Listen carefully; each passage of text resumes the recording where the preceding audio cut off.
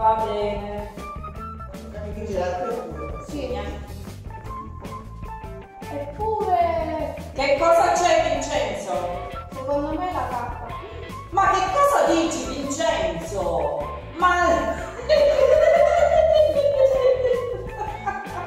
Secondo me la carta è piaciuta.